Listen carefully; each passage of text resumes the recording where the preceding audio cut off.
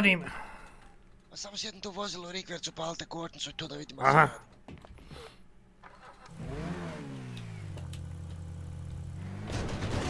radi. Radi! Ispravno, dobro je radi, ključi.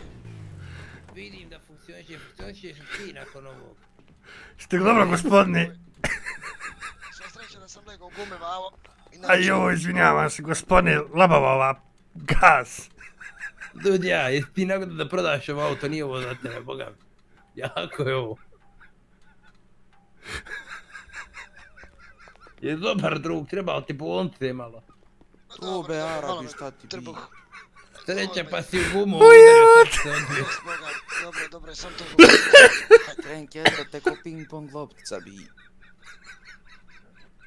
Jel treba da zovemo ovog Ujeo. Ma ne treba, še moću malo. Ma sam... Eto, sad sam, sad si ga ogrebao malo.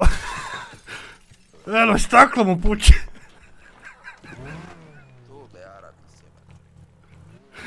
Ujeo.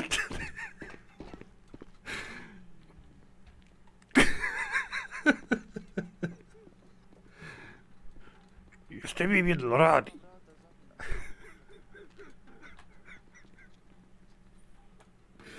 Ujevem ti suze mi se. Puček.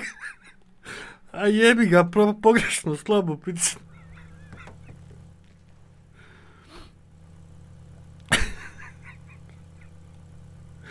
Oj.